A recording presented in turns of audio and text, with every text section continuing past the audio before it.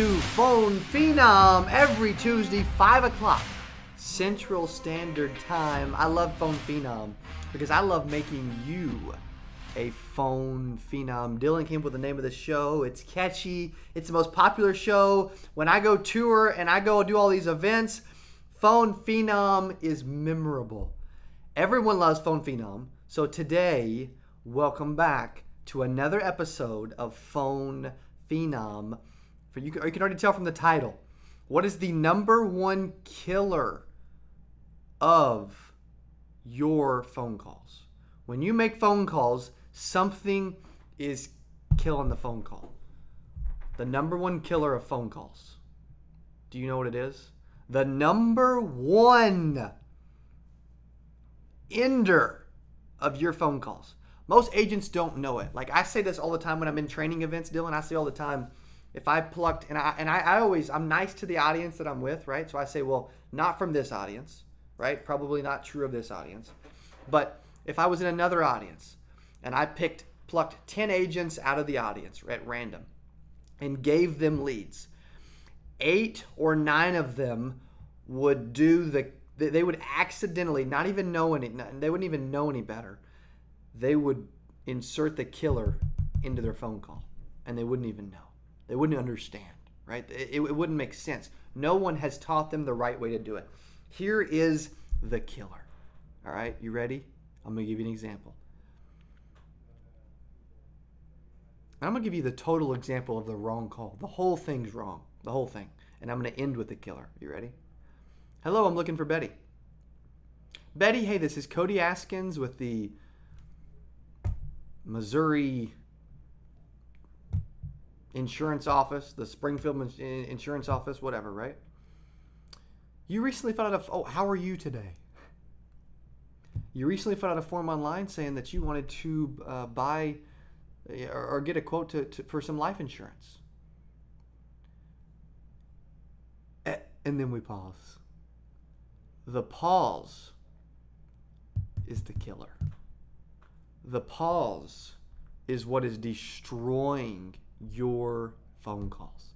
When you pause, and I say this, I say this at every you watching right now, I say it at every training event that I go to. When you pause, here's what you are doing. Miss Betty, I don't know what to say anymore. I've lost control of the call. I have no confidence. You should take control of the call. You should say something stupid that you don't mean. And you should actually just give me an objection right now. It's the number one killer. The pause, not only is it a pause, so you just totally lost all control. It's stupid, right? You just lost all control. Fantastic. Congratulations your confidence dropped. Whether you know it or not, your confidence dropped. You lost it all, right? Congratulations. Okay? You told the prospect to take control of the call, right? And they're about to. Congratulations.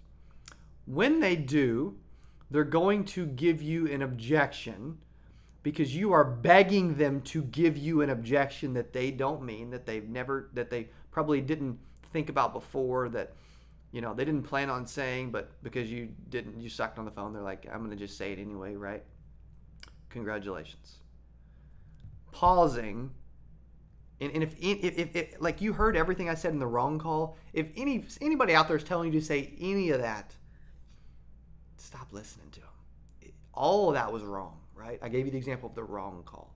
But the worst part, like I, I could say bad stuff like, How are you today? Like stuff I don't even mean. Like, nobody cares, right? That's dumb.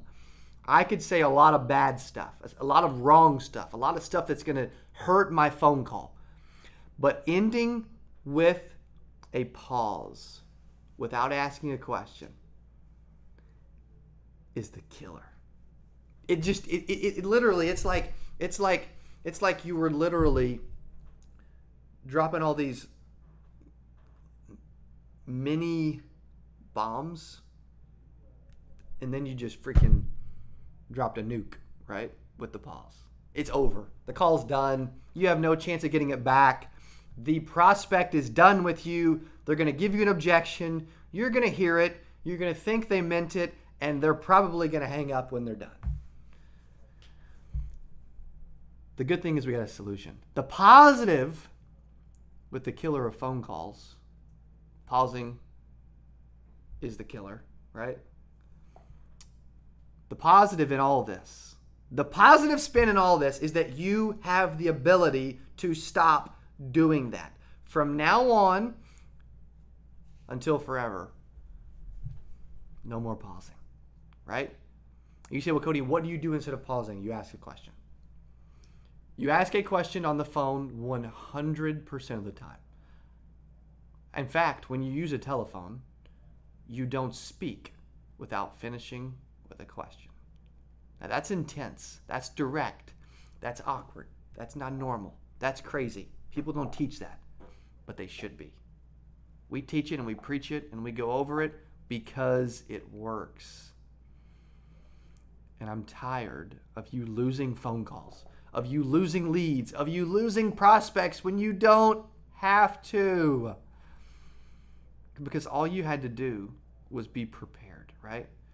Guy last night, Dylan, gave us the five P's prior performance, prior preparation prevents, and I said five instead of four, right? For a reason. He said prior preparation prevents, maybe, maybe it's six, you don't even know it. Prior preparation prevents, he says piss poor performance. That's like six, right? And I'm like, you know what? I like that. Somebody said that. Somebody somebody said that at our event, right? It's all about helping people, getting in front of them, taking advantage, right? When there's a sale to be made, you make it. But what happens is, if we do not know how to get in front of them, we're going to help less people. I always bring it up all the time when, I, when I'm when I'm when I'm training when, I, when I'm doing coaching sessions. If an agent is, is is selling with their own wallet and talking about price and selling smaller policies, which agent's helping this the prospect more? Okay, in this example, agent number one who sells them five thousand dollars of coverage for thirty-eight dollars a month, or agent number two who sells them fifteen thousand dollars of coverage for ninety-four dollars a month.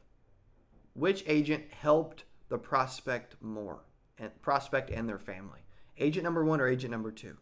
agent number two every single time because they have more coverage. Their family's properly covered, or at least better than the other one, right? Also, let me give you another example. So, when you're selling small stuff, you're not helping people. You're not helping the prospect. Okay? I'll, I'll give you another example. When you're sitting there with the prospect, and let's just say that they give you a, uh, hey, I want to think about it. I want you to call me back, right? Have you ever heard my objection to that? It's freaking strong. But let's just say that happens, okay? One agent listens to it and says, okay, you know, I'll let you think about it. And they leave and they don't make the sale. That's agent number one. Agent number two overcomes the objection and makes the sale. Who has helped the prospect and their family more?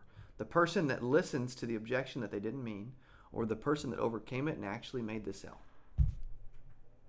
Because people think about it every single day. And guess what? People, their health goes, something goes wrong with their health, something goes wrong with their life, something goes wrong with their, you know, home and auto or whatever, while thinking about it. And they didn't do anyone any good, and you didn't either by helping them make the. You should have helped them make the decision they should have made from the beginning, right? The same thing goes for the phone call. The killer of phone calls is the pause. So from now on, we're going to cut out the pause. No one will be killing your phone call. You'll finish with a question. You'll get your energy up, right? And you'll get where you need to go. So from now on, so what? That's the killer. When you say, Cody, what is the killer of a phone call? That's it. And from now on, no more, right? So that's Phone Phenom. Thanks for watching. I love hanging out with you guys. Thanks for being live with us today, Tuesday, every Tuesday, 5 o'clock Central. We're going to keep dropping, dropping Phone Phenom. Have a great rest of your week. Thanks for watching Phone Phenom. I appreciate you watching Phone Phenom. I want you to be phenomenal on the phone and end up being a Phone Phenom. Thanks for watching. Have a great night.